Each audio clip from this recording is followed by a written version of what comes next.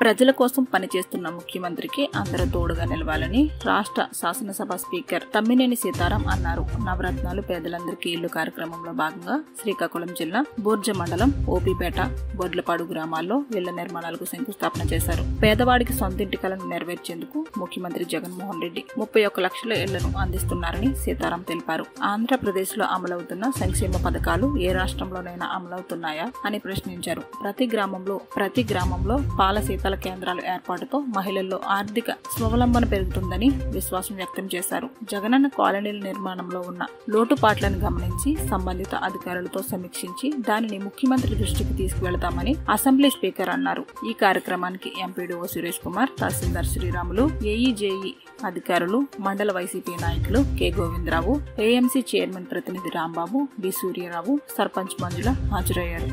గడిచినటువంటి ఐదేళ్ళలో పదేళ్ళలో. ఆ రోజు మళ్ళీ జ- సీఎం మన రాజశేఖర రెడ్డి గారు ఇచ్చారు. మళ్ళీ ఈనాడు ఈయన ఇచ్చారు.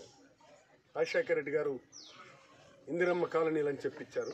ఈయన జగనన్న కాలనీలు వైఎస్ఆర్ జగనన్న కాలనీలు అని ఏదైనా పేదవాడి కోసం ఆలోచించే కుటుంబం వ్యక్తులు వైఎస్ఆర్ అండ్ జగన్మోహన్ రెడ్డి గారు ఒక్కరే ఈనాడు ఇన్ని సంక్షేమ కార్యక్రమాలు చేశారు. నేను అడుగుతున్నాను చెప్పండి వాళ్ళని.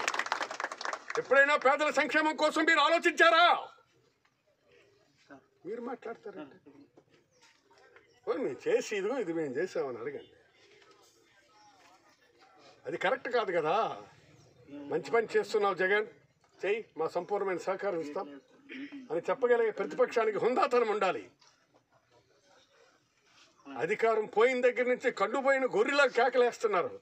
ఇప్పుడు నువ్వు హైదరాబాద్ వదిలి వస్తున్నావా పరామర్శ చేయడానికి నువ్వు హైదరాబాద్ నుంచి కదిలి వచ్చావా జూమ్ ఏమంటే కరోనా వస్తుంది. కోవిడ్ అంటుకుంటుంది. గ్లాసుల మధ్య నుంచి మాట్లాడతాడు. ఈయన పెద్ద వ్యవస్థకు అతీతుడు. మనం సామాన్యులు. కోవిడ్ పేషెంట్ల దగ్గర పరిగెడుతున్నాం. అలా బాగోగులు చూస్తున్నాడు నువ్వు జూమ్లో కూర్చొని వ్యవస్థకు అతీతుడిలాగా అద్దాల నుంచి మాట్లాడవయ్యా. రా ఆంధ్రప్రదేశ్ రా. జరుగుతున్న ప్రజల కష్ట సుఖాలు విచారించు.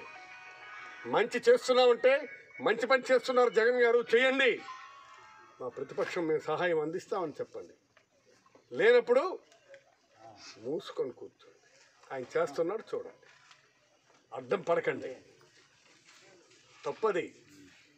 పనిచేసేవాడిని ప్రోత్సహించే తత్వం రావాలి మనకి. అలాగని చెప్పి నీకు ఇన్నేళ్ళు అధికారం ఇచ్చారు. చేసినావా?